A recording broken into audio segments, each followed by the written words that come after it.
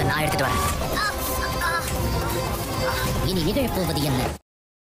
விக்ரமோட அப்தா எல்லாத்துக்கிட்டையும் அன்னைக்கு குடிசையில் தீப்பற்றினப்போ இருந்த மூலிகையெல்லாம் எரிஞ்சு போச்சு. இனிமேல் அதை இழுத்து மூட வேண்டாம்னு சொல்லி சொல்கிறாங்க விக்ரம் அந்த மூலிகை எங்கே இருக்குன்னு சொல்லுங்க. நாம எடுத்து வரேன் அப்படின்னு சொல்லி சொல்கிறாங்க இந்த மாதிரி ஒரு மலை பெயரை சொல்லி அந்த மலை காட்டுக்குள்ளே தான் இருக்குது அங்கே தான் போய் எடுத்து வரணும் அப்படின்னு சொல்லி சொல்லிடுறாங்க.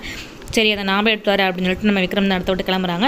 ரொம்ப தூரம் போய் கஷ்டப்பட்டு வேதாவுக்காண்டி அந்த மூலிகை மரத்தை கண்டுபிடிச்சாங்க அந்த மூலிகை மரத்தை கண்டுபிடிச்சி அதில் மூலிகை எடுக்கும்போது அந்த இடத்துல பாம்பு அவர் காலில் குத்திடுது.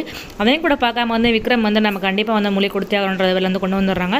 விக்ரம்க்கு என்ன ஆகுன்றதை நம்ம எபிசோட பார்த்து தெரிஞ்சுக்கலாம்.